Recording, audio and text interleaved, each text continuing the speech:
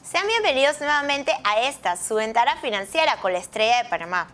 En los recientes espacios hemos estado compartiendo con ustedes diversos conceptos relacionados con el tema de inversión en activos financieros, como lo son metas y objetivos, tolerancia al riesgo, clases de activos financieros, riesgos, rendimientos y la diversificación.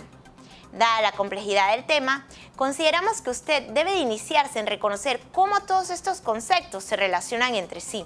Esto es importante a la hora de usted implementar estrategias de inversión. Daremos inicio a nuestra explicación partiendo del establecimiento de una guía, la cual enmarcamos bajo el concepto de metas y objetivos. Si usted no sabe a dónde quiere ir, mucho menos sabrá cómo llegar. Posterior a este paso, muchos consideraríamos en evaluar los medios o los activos financieros, así como los rendimientos que nos permitan lograr esas metas y objetivos.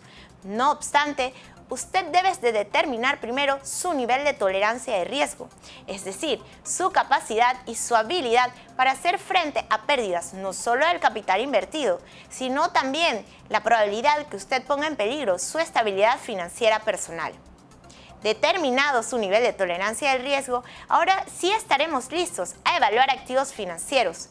De lo contrario, podríamos terminar escogiendo activos solo por su rendimiento y porque nos ofrecen la capacidad de lograr las metas en menores plazos de tiempo.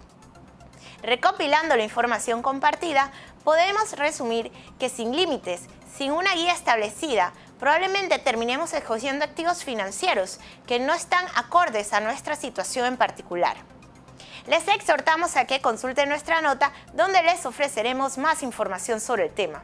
Les saluda Laisa Lescano, gracias por visitar esta, su ventana financiera con la Estrella de Panamá, un espacio en finanzas hecho especialmente para usted. Recuerden seguirnos en el canal de la estrella y darnos like. También pueden enviar sus preguntas, así como sugerencias de temas, a la dirección info arroba.